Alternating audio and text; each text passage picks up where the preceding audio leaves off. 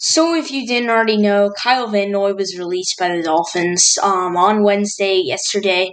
Kyle Van Noy, um, the the signed Dolphin, he signed with the Miami Dolphins in twenty last offseason after being with the Patriots and the Lions in his career as a two-time Super Bowl champion.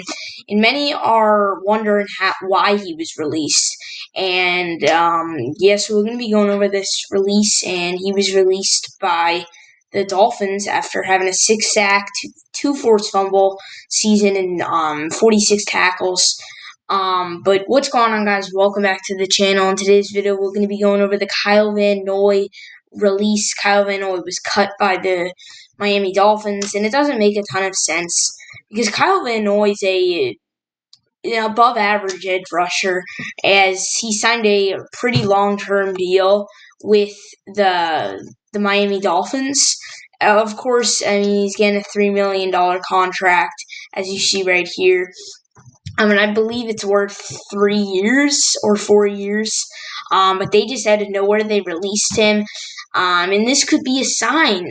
I know Kyle Van Noy is not making a ton, but Kyle, this could be a sign that the the Miami Dolphins want to put it push in for Deshaun Watson because of releasing players, but I th- I would think they would release maybe a guy like um, Kiko Alonso or Eric Rowe or someone like that instead of a just sign Kyle Van Noy. And you look it down at Kyle Van Noy's stats, he's had a lot of talent. Um, having two, he had a six sack season with New England last year, three and a half and five and a half, and then six with the um, Miami Dolphins. As he's gonna, I think he'll be a lot like Earl Thomas, where he sits on the market probably until the season starts, maybe.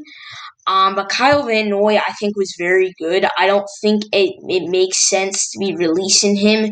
One thing, if he's having maybe he missed the whole season or he only had like two sacks, but Kyle Van Noy was probably the most productive pass rusher on that team. Um, maybe Raekwon, maybe Raekwon Davis. Uh, sorry for all these ads. Um, but it doesn't make a ton of sense because of other than Xavien Howard, there was no elite defensive player on that team, and they just signed him to a contract. Maybe it'd make a little bit more sense if his contract was expiring and if he was making a little bit more.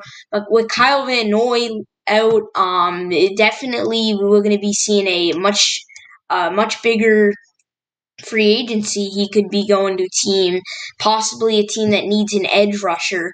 Um, teams that come to mind, maybe he goes back to New England. Maybe he, he needs he goes to New England. The Giants are there. Um, Giants, maybe like maybe the Saints. Um, maybe the Chiefs. Chiefs could use an edge rusher. Um, any team like that really could work. I could see the Cowboys getting him. Um, but Kyle Van Noy, definitely he can play. I don't think he's that good. He, I don't think you can play him at middle linebacker. I think he'd be a good. I think he's an edge rusher. He can can sort of play right end. Um, but as a Patriots fan, he was I was kind of sad he left um, the Patriots. But he's had he just had six sacks and two forced fumbles, so I don't think it makes a ton of sense that he was released. Um, possibly, I think my top five teams that will get him are definitely probably like the maybe the Seahawks, Cowboys, Chiefs, maybe the Jaguars. He stays in Florida. He goes to the Jaguars. Um, Giants, maybe, and then of course he could return to New England um, but I don't think he will. Tell me in the comments down below what you think of this. Uh, what, what, do you think of this this news? Kyle Van Noy um, just signed a contract with the Miami Dolphins, getting cut by the Dolphins, and he is now a free agent. I hope you guys enjoyed this video. Um, I'm going to be doing a lot of these free agency videos just on my computer with the face cam. But I hope you guys enjoyed the video, and I'll see you guys in the next one. Oh, and I have this set up tight ends. So stay tuned for that. But I'll see you guys in the next video. Peace out.